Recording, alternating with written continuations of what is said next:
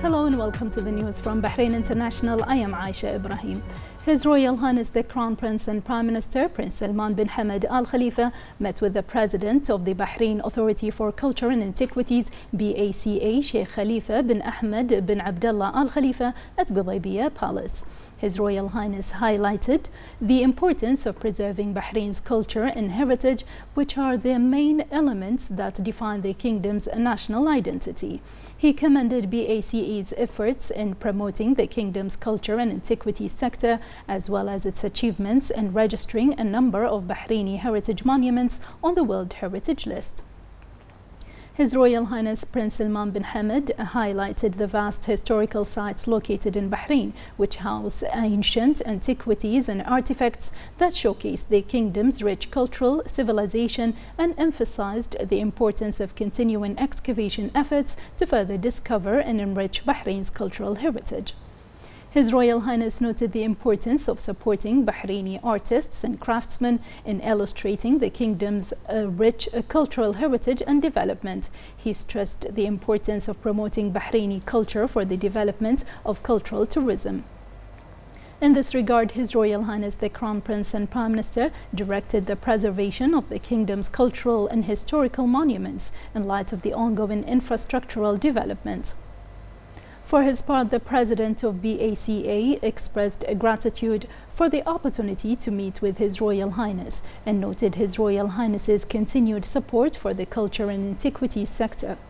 The Minister of Cabinet Affairs, Hamad bin Faisal Al Malki, also attended the meeting. The first Deputy Chairman of the Supreme Council for Youth and Sports, Chairman of the General Sports Authority, GSA, and President of Bahrain Olympic Committee, His Highness Sheikh Khalid bin Hamad Al Khalifa, received at Al Wadi Palace the Minister of Information Affairs, Dr. Ramzan bin Abdullah Al Naimi, in the presence of the GSA Vice President, His Highness Sheikh Salman bin Mohammed Al Khalifa, GSA CEO Dr. Abdul Rahman Askar, and Assistant Under Secretary for Radio Radio and Television Affairs, Abdullah Khalid al-Dosari. His Highness Sheikh Khalid affirmed that the media is an essential partner in ensuring the success of sports work, which contributes to making further achievements in such a vital sector. His Highness Sheikh Khalid congratulated the Information Affairs Minister on the royal trust bestowed upon him by appointing him to his post, wishing him and all the affiliates of the Information Ministry continued success. His Highness reviewed the plans and programs that the GSA seeks to implement within its development vision in a manner that would achieve His Majesty the King's visions and directives to continue developing the sports movement by implementing the development projects included in the action plan of the government led by His Royal Highness the Crown Prince and Prime Minister. His Highness underlined the pivotal role played by the Information Affairs Ministry in highlighting the efforts of the various governmental sectors, institutions and entities which will motivate them to continue their comprehensive development endeavors. His Highness Sheikh Khalid stated that the sports media is an integral part of the sports work system, noting that its efforts contribute to enhancing progress and highlighting achievements. He directed the Information Affairs Minister to devise a plan to develop sports media in line with the GSA's goals aimed at boosting the sports sector to achieve further progress.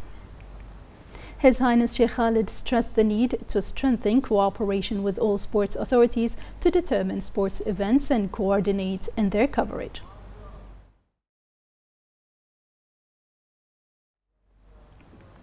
The first Deputy President of the Supreme Council for Youth and Sports, President of the General Sports Authority, GSA, and President of Bahrain Olympic Committee, His Highness Sheikh Khalid bin Hamad Al Khalifa, received at his Majlis in Al Wadi Palace Bahrain's champions who made achievements in Paralympic sports in various participations this year. His Highness welcomed the champions and conveyed to them the greetings and congratulations of His Majesty the King and his wishes of success during their sports march.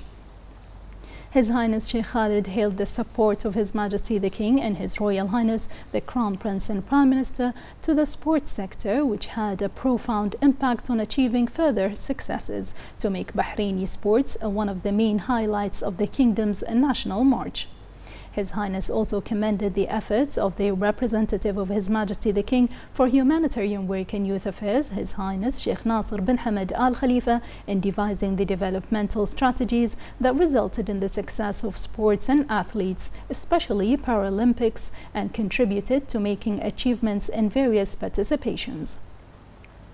His Highness Sheikh Khalid added that Bahraini Paralympics affirmed its competence through the honorable results it's achieved in major international championships and events. His Highness expressed pride in the achievements of Bahraini Paralympic athletes, affirming his continuous support to Paralympic sports and its affiliates to achieve the aspirations and goals that increase the Bahraini continental and international presence. He expressed appreciation for the efforts of the Bahrain Paralympic Committee led by Sheikh Mohammed bin Duaij Al Khalifa in developing plans and programs that contributed to the growth of the sport and its affiliates, wishing all athletes success in making further achievements in upcoming participations.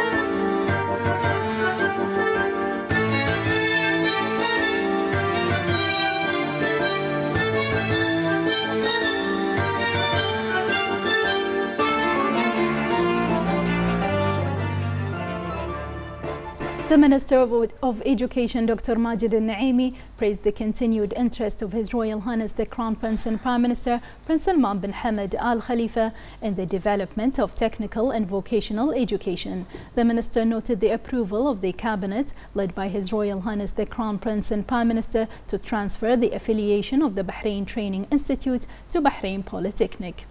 He stressed that this comes within the framework of the keenness to encourage school students to engage in technical and vocational education in line with the requirements of the labor market and in an effort to provide opportunities for vocational education at a high level of quality and to develop employment opportunities for graduates in the labor market.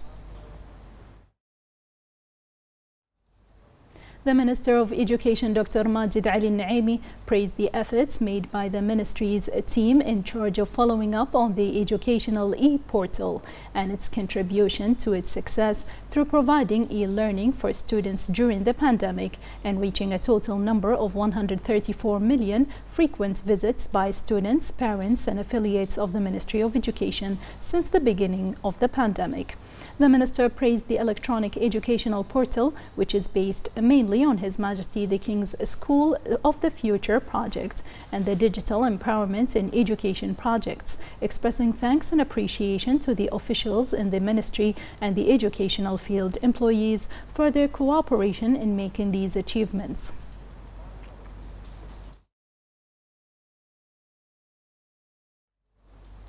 The Minister of Oil and Environment and Special Envoy for Climate Affairs, Dr. Mohammed bin Daina, participated in the 31st OPEC Plus meeting chaired by the Saudi Energy Minister, His Royal Highness Prince, Prince Abdulaziz bin Salman Al Saud.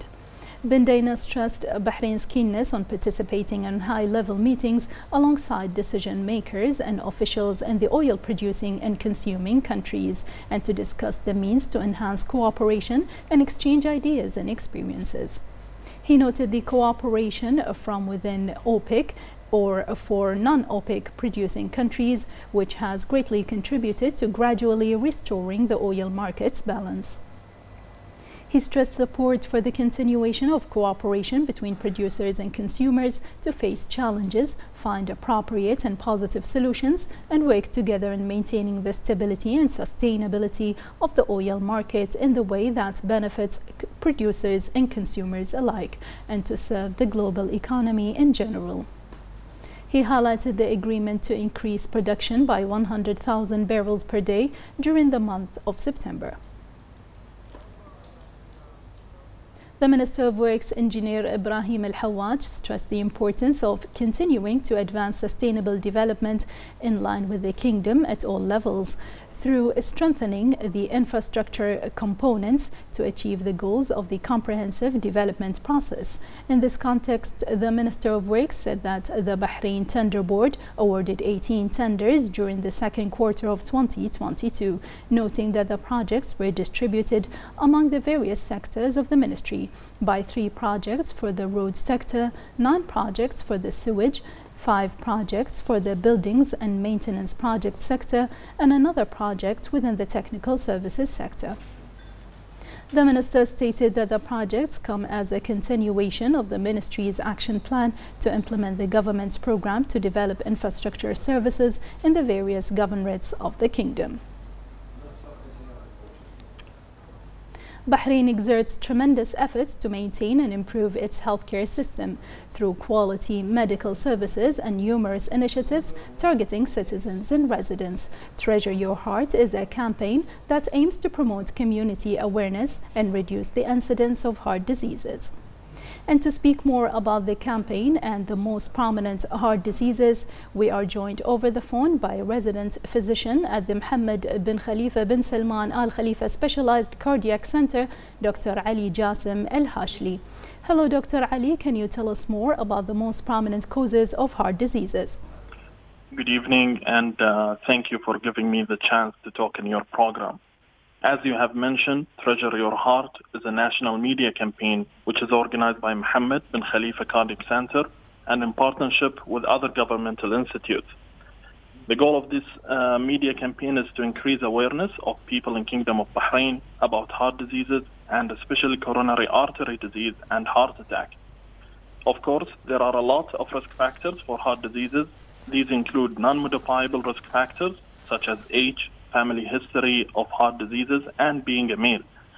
And there are risk factors which we can control, such as diabetes, high blood pressure, high cholesterol, smoking, sedentary lifestyle and lack of exercise, overweight and obesity, and unhealthy diet. Can you tell us more about what can be done to maintain a healthy heart? Sure. So, heart diseases can be avoided by following a healthy lifestyle and controlling the modifiable risk factors which I have mentioned. Therefore, I advise everyone to control their blood sugar level, blood pressure, and cholesterol levels by taking the appropriate treatment and regular follow-up with a family physician or specialized doctor. A person must also stop smoking, eat a healthy diet which is rich in fruits, vegetable, and whole grain, maintain a healthy weight, exercise and maintain physical activity, and manage stress physician at the Mohammed bin Khalifa bin Salman Al Khalifa Specialized Cardiac Center, Dr. Ali Jassim Al Hashli. Thank you for joining us.